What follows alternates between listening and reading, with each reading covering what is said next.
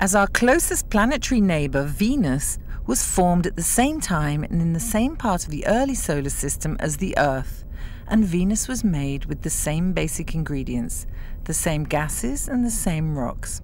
However, now the two planets are completely different. On Venus, days last longer than years, and the planet rotates clockwise with the sun rising in the west and setting in the east.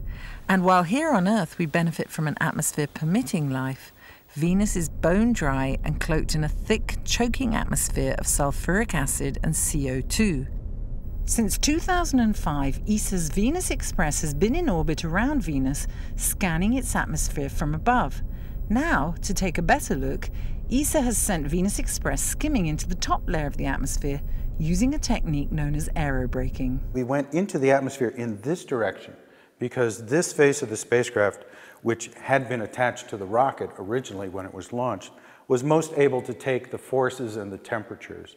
We also turned the solar panels to maximize the amount of friction and to get the most amount of braking. This maneuver offered the first ever close up view of Venus's upper atmosphere, and it wasn't what was expected. What we saw that was a little unusual is the variability in the pressure, as if there were waves within the atmosphere. And so that possible wave-like structure was not expected. And uh, we'll, analyzing that data will keep scientists busy for a little while yet. Thanks to Venus Express's data, it's thought that these wave-like fluctuations could be related to the speed of the winds that circulate around Venus, and these winds appear to be getting faster. When we arrived at Venus uh, eight years ago, uh, we detected winds at uh, 300 kilometers per hour, very fast. But what has happened during these years, uh, until now, they have actually increased. We, have, we now see winds of 400 kilometers per hour. And we can't really explain why, why that has happened.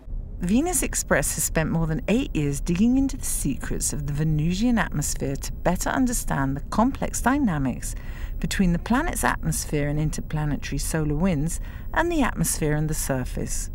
While these recent findings pose many new questions, it is possible that clues to the answers lie somewhere in the vast amounts of data that have been gathered by the spacecraft over the course of its mission.